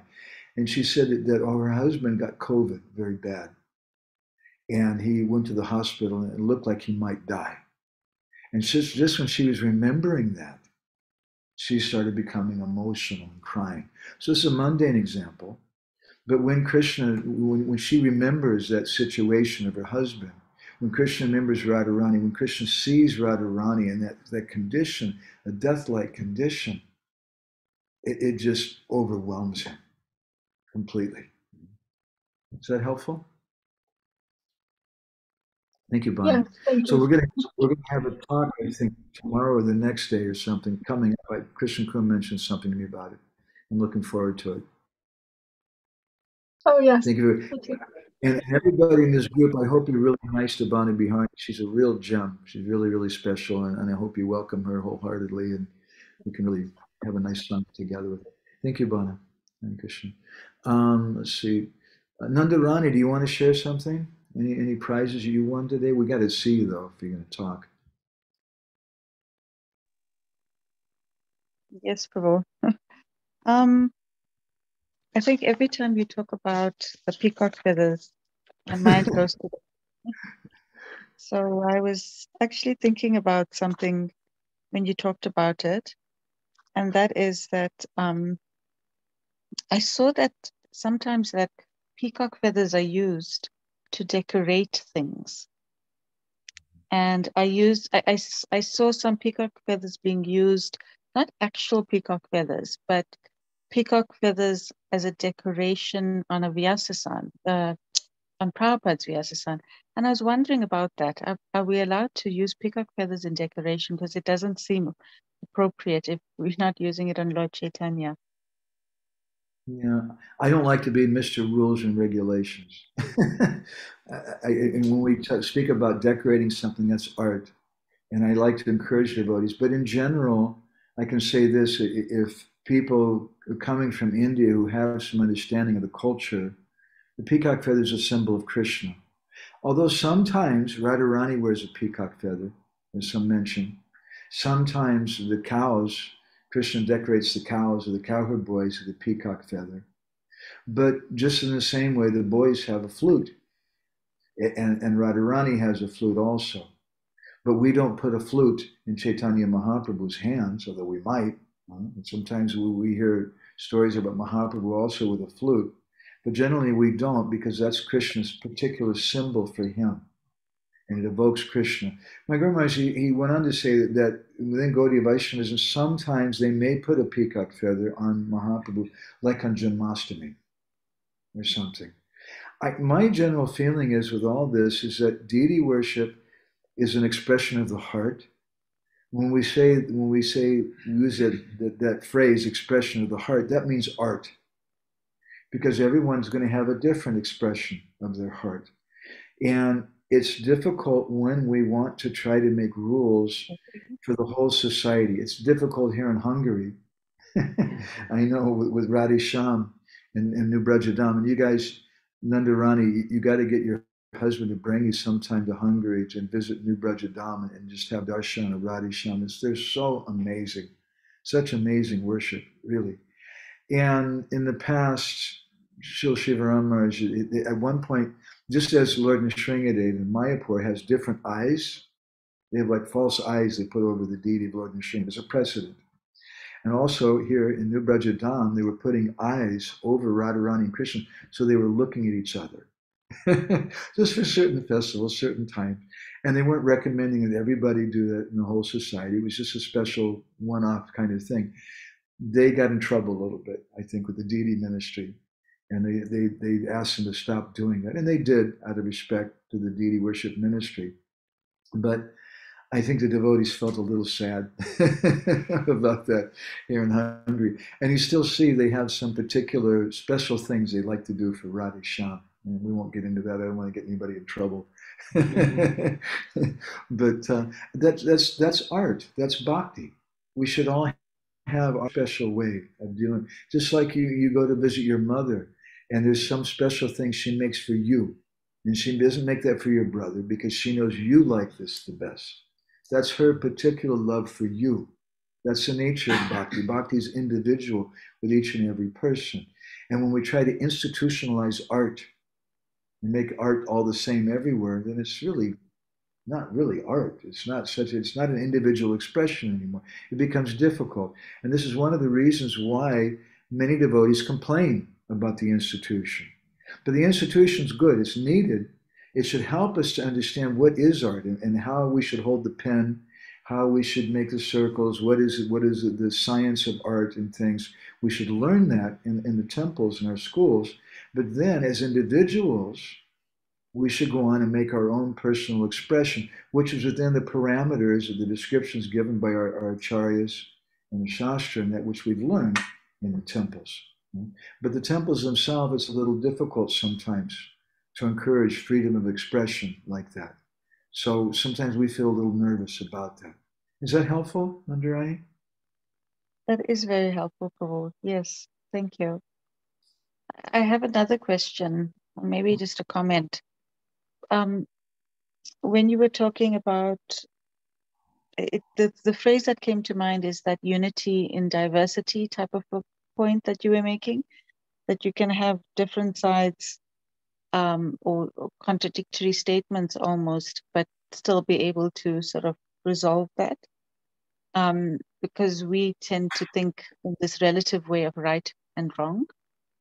Um, and I thought of something that my Gomaj said, and I don't know if Srila Prabhupada said it, but I know that my Gomaj said that when Krishna is good, he's good.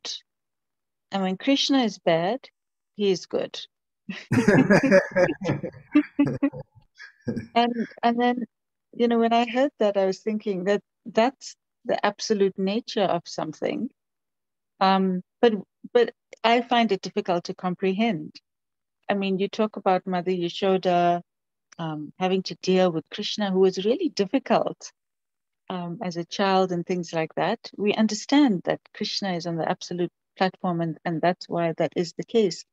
But all that is tangible to us is a relative thing, that right and wrong.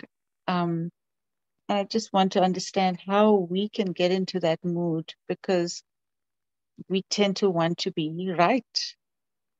Um, which means that it, the other person is wrong. Yeah. These are such important things to discuss.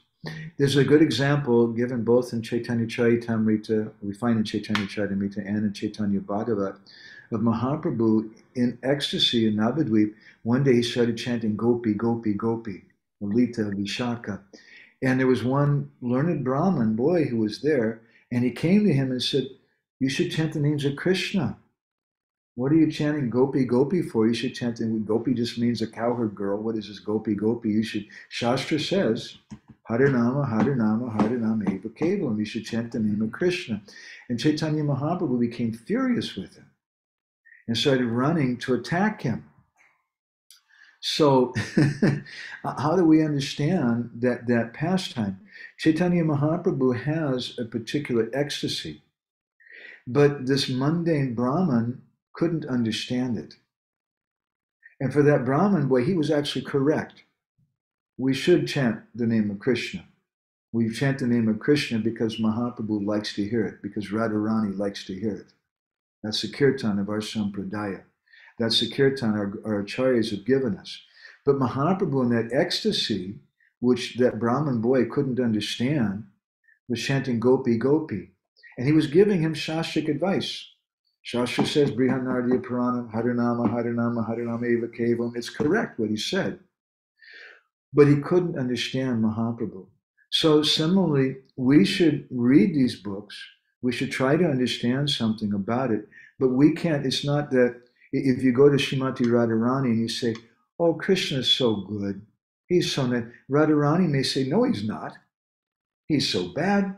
Do you know he went with Chandravali? He did this, he did that just as Chaitanya Mahaprabhu became angry with that Brahman. And we should hear about that. We should hear about their mood, but we can't imitate it. It's not that we come in front of the deity and we start shaking our finger and Krishna, you were really bad today. We're not going to give you any lunch because you were so bad. that's that's being like a sahajya. We can't speculate like that. Rather, we follow what's been given by our gurus and our acharyas. And for us, we can't imitate this. So even if Krishna's bad, as your Guru Maharaj said, for us, he's good. His bad is his good. There's 18 faults in a conditioned soul, which Rupa Goswami describes in Bhakti Rasamrita Sindhu, quoting from some tantric literature, I don't remember. And those 18 defects are not found in Lord Narayan. And that's why he's God, because he doesn't have those 18 faults, like getting tired, like telling lies, like becoming confused, making mistakes, and those 18 different types of things. But what's paradoxical is that Krishna has 16 of those 18 faults. And those, the faults when Krishna has them are what make him superior to God. what make Krishna superior to Lord Narayan. That he tells a lie. And it's so very, very sweet. And, and, and we, we hear about that and we, we laugh and it, it, it endears the heart. And each one of those so called faults are in connection with his devotees. And we don't see these faults in Lord Narayan. But Krishna tells a lie. Krishna becomes confused when he sees Radharani and becomes bewildered. He's going to milk the cow and he grabs the bull and he starts milking the bull. Huh? it's a kind of fault, but it's, it's an ecstatic thing and, and it's bad, but it's good. It, it, makes him superior even to God. So we should hear about that and we put it in our filing cabinet in a certain place that we can understand in, in a philosophical way. But maybe my mamata is not exactly there personally. It doesn't really, I can't exactly relate to it. But I should know something about it. And probably we hear that and we think, that's really sweet. that's really very endearing.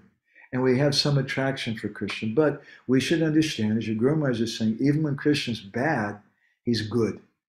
is that okay, Nandarani? Yes, thank you, Prabhu. Thank you. It was a great comment. Okay, we're getting. What happened to Krishna Balam? Krishna Balam still there. Krishna Balam, do you have any comments or anything? Uh, not for tonight, Nand- Prabhu. Thank you so much. Okay, is Linda Nandarani being nice to you? She's okay. oh. All right. Thank you, Prabhu. It's nice hearing your voice. I know you came really late. It was a little hard. Anir Prabhu, do you want to share anything? real quick? No, thank you. Great, great presentation. Look forward to more. That's it. Thank you, okay. Haribol. That was sharing something. Anybody else here in the room? You guys want to share anything, any reflections, something you liked, an impression you made, something? I want to ask About the story when uh, Chaitanya Mahaprabhu had these arms extended and uh-huh. this kind of freak show. Like, what happened then? well, what happened then? Well, first of all, why did it happen? These are, and, and Krishna Das Kaviraj Goswami makes a comment about this, a very astonishing thing. He says that the symptoms of ecstasy that Chaitanya Mahaprabhu exhibited in Puri, we've never heard about in any Shastra. He says, Shastra Nahi Suni. Hmm? We've never heard any Shastra speaks about those kind of ecstasies. No one's ever spoken about them. They're very, very astonishing. It's not in Ujjwal money. It's not in, in, in, in uh, Bhakti Rasamrita Sindhu. It's not amongst the Asasapikar Bhav that someone's arms and legs become elongated. I remember there's some Babajis at Radhakund. They made some paintings of Mahaprabhu with his arms elongated like that. And I have to say, honestly, I, I didn't really appreciate it. It was a little horrible. And they also, there's another painting they made of him with blood all over his face, rubbing his face on the wall. And I could see why generally Gaudiya Vaishnavas don't make those paintings. Hmm? Right? Someone made it. It was interesting. I, I collected, I collect paintings. So I collected those pictures, but generally we don't. So Mahaprabhu, in separation from Krishna, Mahaprabhu's separation in Jagannath Puri is a manifestation of Radharani's feelings. He's Krishna, Nami Krishna Sarupam, but Radha Bhava Dyuti. He's experiencing the feelings of Radharani. And as we're hearing in this chapter, in particular, he's experiencing the, the, the feelings of Srimati Radharani in the book, in the chapter 47 of the, of the 10th canto known as Bhramara Gita, which is we've been discussing in, in our classes on Tuesday, used to be Tuesday morning Indian time, now it's I think it's going to be Hungarian time, three in the afternoon. Uh, we've been discussing that uh, some Vaishnavas say that that chapter is the most important chapter of the whole Bhagavatam. Why? more important than the, than the Rasa, Pancha, Rasa the five chapters of the Rasa Lila, more important than the first chapter of the Bhagavatam, more important than Krishna's appearance, most important because it explains the mood of Radharani. So Mahaprabhu, feeling separation from Krishna like that, he manifests this form. It's it's a completely indescribable form. It's malinangata. Malinangata means when the body becomes deformed. It's one of the 10 different symptoms, uh, but it's a very unique symptom in this regard. Mahaprabhu's body becomes completely elongated. And the only thing that we can comment about it, because we haven't experienced this, and we should understand the point too, that, that the Bhagavatam itself is described as Prema Moyi Bhagavata it's made out of Krishna Prem, and therefore it's known as a Bhava Grantha, or a book which can only be understood by realization, by ecstasy. As Krishna says in the Gita, uh, uh, Savagamam Dharmyam, Susukam Kartamavyam, that, that Pratyaksha, we have to personally realize that. And therefore, Gaurakishora Das Babaji is the greatest scholar of the Bhagavatam, although he couldn't read it but because he was experiencing that thing. So to us to try to understand the symptoms of Mahaprabhu, all that we can do is just comment what I remember from Krishnadas Kaviraj Goswami's regard, just that Mahaprabhu became so ecstatic, and that happened, and he lost his external consciousness, and he, in his internal consciousness, he went to Vrindavan and he saw Krishna.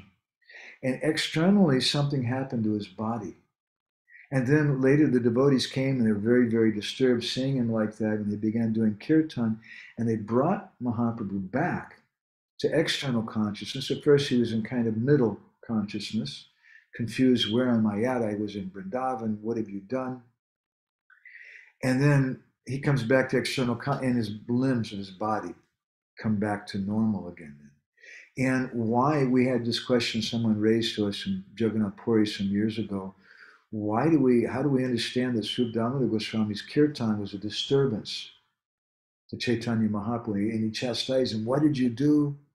I was seeing Krishna in Vrindavan, and you did kirtan and you brought me back here. What kind of kirtan is that? The kirtan of Damodar, who's Lalita Sakhi, should be a kirtan which, which brings ecstasy and enhances the Lord's mood. Uh-oh. Um, can you do something with it then? What? Just a second. Yeah, it just goes to sleep sometimes. that? That's okay. Okay, I'm just going to keep speaking. I hope you can hear me. And I'll try to bring the. There he. Try to bring the camera, camera back. So mm, we would understand that Swarup Damodar Goswami's kirtan should be a kirtan which brings happiness to Chaitanya Mahaprabhu, mm-hmm. not brings uh, pain to him. So, how do we understand that? Damodar Goswami is Lalita, and Lalita understands the mood of Radha, and Radharani's feelings are just like a roller coaster. And the roller coaster goes up very slowly, and, and down real fast, and then again it goes up and it goes down, and those are like the feelings of Srimati Radharani. So sometimes she sees Krishna and she's in complete ecstasy and everything's one, and then on the next moment, she's feeling so much separation. So to help Krishna, who's come as Chaitanya Mahaprabhu, to, realize that, Sri Damodar Goswami is doing his kirtan in this way. So Mahaprabhu, one moment, is feeling this, this, intense separation, and then he's seeing Krishna, and then Sri Damodar Goswami comes and does this kirtan, which sounds terrible. It, it, it, takes away the vision of Krishna from Mahaprabhu and brings him back to this external world. But that was required because in his feelings of separation become even more and more intense, like Srimati Radharani. That's all I can comment, Prabhu. Is that okay, Batu? It's a good question. Anybody else have anything? Anybody in the other room want to say anything? Okay. Okay, um, we have something, Prabhuji? Yeah, I, I just got a question. You sort of gave an answer. Okay. With, uh, that, um, so my question is, if it's really hard for me to comprehend uh, this concept that uh, in the transcendental realm, the greatest ecstasy is these symptoms. like, they sound so terrible with the material vision, so it's just very difficult to comprehend how, how this is uh, how this is the greatest ecstasy. But you, you said that you can really experience or you can really understand when you are at that stage of bhav. so That's good. I, I, think you understood. you just want to marvel at it again, maybe. And that's why we have books like Madness of the Saints. That's why people are fascinated by divine madness. You know? And we should understand something about it. That it is divine because it's so hard to understand. There was one Sufi saint who was very famous, and uh, he uh, came to one small town, and everybody said, Oh, the sadhu's come. And this big crowd of people came out to greet him. And he felt disturbed because he just wanted to do his bhajan alone and didn't want people bothering him. He didn't like people glorifying him. And so he stood there for a moment. And then he he kind of sort of, I don't know what kind of clothes he was wearing, but in the West, he unzipped his pants and he pulled out his male paraphernalia and he started passing urine in front of everybody. and all the people were watching him. Oh my God, he's not a sadhu. Let's go. and they all got up and left. so it's very difficult to understand these kind of things. And therefore, we want to hear about it in an authorized way. Otherwise, you'll hear about Ozzy Osbourne of Black Sabbath. And once he bit off the head of a bat and ate it, you know, so, I mean, you'll hear about some crazy thing and you'll think this is this is also some divine ecstasy or something. You might think like that. But when we want to hear some authorized statements from our acharyas what the divine ecstasy is. Otherwise, I, I, I've seen in our parikramas and Puri sometimes, some people come and they'll start chanting, all of a sudden you see them and they just fall on the ground and they start rolling around. I don't know. I personally, I, I don't bother them. But sometimes people do that to, and I've seen it, I'm pretty sure it was not actually genuine because just right after that, there's some conscious. Yeah. Like Guru Maharaj said in the lecture once, like if you see something like that, then you know like that person is mating up and just like hit his head with your knife or kick his head. And if he's really like a sadhu, he's, he's not gonna bother, but he comes out like, hey, what happened? What, what are you doing? Then he's not really. Yeah. But when it's his real ecstasy, you have to fall down. yeah, I, I, what he said. I think Guru Maharaj was just saying it because the devotees once came to Prabhupada, and there, was some person who came to the Krishna Balaram Mandir in Vrindavan, and all of a sudden, Kirtan, he just fell down on the ground and started rolling on the ground and crying. And the devotees didn't know what to do. And so they went to Prabhupada, and Prabhupada said, like, you should kick him. Mm-hmm. and if he's really in ecstasy, then, then, then he- he won't manifest. I, I feel a little shy, but at the same time, I really don't appreciate it. Once I I collect books and things, and I speak to sadhus. Once I went to see one particular sadhu who translated a book, and he asked me to start reading some from it. And I was reading and all of a sudden, I just read a few words, and all of a sudden, and he starts crying. And I felt really bad. Honestly, I, I don't know. Maybe he's on an elevated platform. I don't know. But I felt like I was being raped in public like someone was taking advantage of me in public.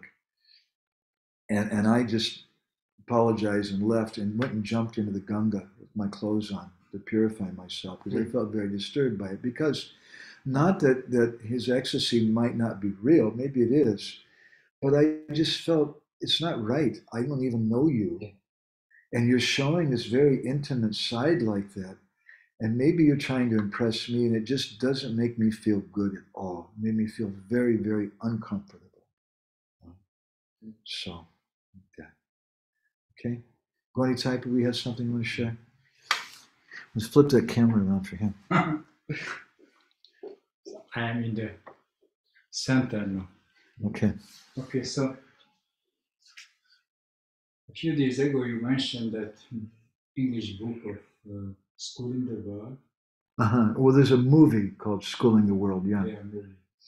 So I think we all, most of us, especially me, we're underestimating that kind of effect which we got from childhood. That kind of so-called education is Mhm. not not not not something a little thing. It's really a slaughterhouse of, of a thinker, an individual thinker. And we are killed practically by that. Hmm. I see your expression also shows some sh- some show that you also learned in the Western world, like like when you mentioned that two bodies merging, it's not like atoms are coming. That's why we are speaking about these things because we learn that bodies from atom is made from a- atoms. So it's so deeply in us. Uh, and that education also teaching us the critical thinking and criticisms of others. This is so deep, it's so difficult to purify us. So I, I think we just have to, you know, offer obeisances because every each of us came from that background. And that's impossible to get through until really purified. That, that takes, takes a lot of and Mm. so that's Wow. Great comment. Can you flip us around? Great comment. Thank you, Goni Taipabu. Yeah, our education in many ways is more like indoctrination. We're brainwashed in a certain way. We- we- We're taught to see things in a certain way that, that we should all be make money. That's that's what's going to make you happy. You have to have a house and a wife and a nice sex life and a beautiful body, and that's what's going to make you happy. And so many other values that we get from this Western education. I, I really appreciate your comment. I, I think you, you kind of got the essence of what I was trying to communicate today, and that is that we we can't understand this. It's achintya. It's inconceivable. But even though it's inconceivable, even though Krishna is inconceivable, we still are supposed to read Krishna book, and we just hear it. As Srila Bhakti Siddhanta said at Radhakund, I know you're not qualified for these topics, but you should know such a thing exists, and you should hear it. And by hearing it, it's not like a mundane thing because that's part of our problem. We're used to understanding something. We read a book. I, I took English literature when I was in, in, junior college, and we studied uh, George Orwell's 1984. So you master the book. You read it five times. You make notes on it and things. You can't master Bhagavad Gita or Chaitanya Charitamrita. This is pratyaksha. It's something that has to be experienced. So we're approaching it with this attitude. Yeah, I had this literature class, and I took notes, and I, I, I collected all this information. So this is my process that I'm going to do now. But that's not the process here. Process here is we just submissively, passively hear. Just hear it, and something will happen. Srinvatam swakata Krishna punya shravana kirtan hridyantisto hibadani vidhunoti saritsatam. It does something automatically to our heart if we hear in the proper way. And we have paraspara, there's some back and forth discussion. Okay, that's a great comment. Thank you. So I want to finish with, with Gorni, with Chaitanya Prabhu. We had Gorni Tai, now we have Chaitanya. you have any Um, reflections you want to things up with Prabhu? Thanks, Prabhu. Yeah, there's there's so many actually, but I'll just pick out a couple of very very very quickly. Uh, I think some of the other for me, in the Prabhupada making that comment about how Krishna places himself to be the enjoyer. Some of the others struck for me today uh, quite a bit.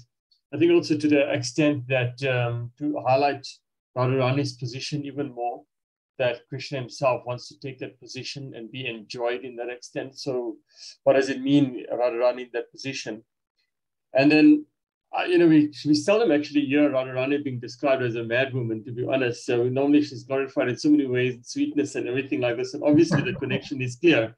We hear Lord Chaitanya being described in that way, and obviously Radharani being described in that way is, is, is quite interesting from that perspective. But when you read that first, um, the first of the dasas that, you know, on, on and where Radharani is then feeling that separation like death, but she's willing to not die and tolerate that pain so that Krishna wouldn't have some pain. I mean, that does sound like a, in inverted commas, a crazy mentality.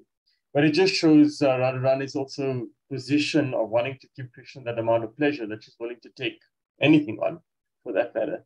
So those are the couple of things that really jumped out at me today, Prabhu. So thanks a lot for those. You know, it's kind of like if you have a crazy uncle and your crazy uncle wants to uh, buy a, a, a, bus so that he can drive to Iceland, which is, he can't even drive to He wants to drive to Iceland because the Martians are going to land there and they're going to take over the world and he's going to become part of it.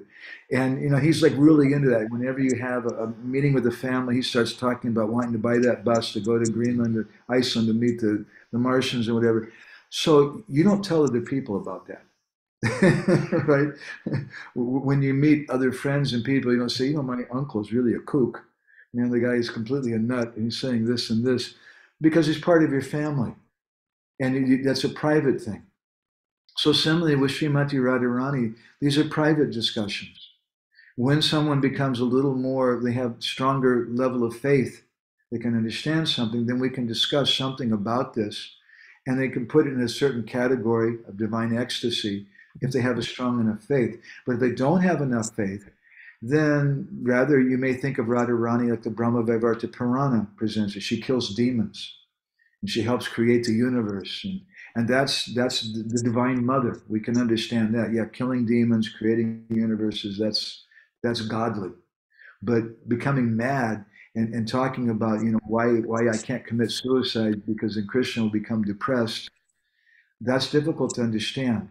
But in our literature, Radharani is described as Pagalini Radha. If someone wants to read Shakespeare and read about Romeo and Juliet and the great tragedy, tragedies and things that Shakespeare is so beautifully described, which in, in Western literature we, we glorify and we, we appreciate so much, go to Lalita Madhav. See what Rupa Goswami has described, if you have a taste for that. But we have to approach it through our parampara in a proper way through our acharyas with a proper quality degree of faith. And this is not a discussion we would make. We, we wouldn't speak about these things in Eger in front of with a general group of devotees there. But in a small sangha, we have an obligation to devotees. Just like uh, you have a, an obligation to a child to, that there should be no questions which are illegal when he starts becoming a little older. No question should be illegal. When the child's very small, you just say, anyway, because I said so. Don't drink bleach because I said so. That's why. Mm-hmm. But later on, you may tell them scientific reasons. It's going to burn your mouth. It's going to die, this and that. Later on, those questions are legal. So we want people to grow up. And there should be no questions which are illegal. There should be no parts of Prabhupada's books which are illegal. But we should understand what is my mamata, what is my sambandha, what my connection with those particular aspects of the books. And if we can't understand that, then maybe it's better if we don't approach them until we do understand in a proper way.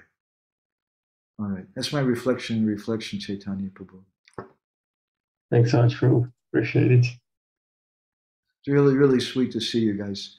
Okay, I, I we should stop there. It's nine o'clock at night. It's nine o'clock at night for you guys too. It's amazing. I we're in the same time zone. Yeah. South Africa and, and, and, Central Europe. Amazing. Yeah. Okay. Well, very, only uh, for Prabhana Biharni, what time is it for you? About three in the afternoon? Yes. Three o'clock in the afternoon. Yeah, it's easy for you. Okay, so thank you all very much. I'll let you guys know what's happening next week. I, I can't say right now uh, because we have a Sunday feast program here, but I'll try to do something. We may have to again do something at this same time we did this week. I don't know. It's nice for me if we have an option of different times too, though. Okay, Srila Prabhupada ki, ki, Go Premanandi Hari Hari Bo, Vansha Kalpa Darubishcha, Vai,